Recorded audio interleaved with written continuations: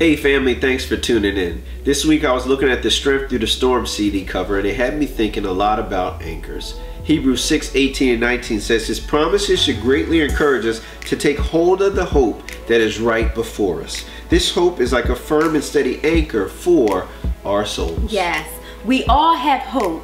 And if we're not careful, we can slip into having hope in hope. In scripture, hope never stands alone.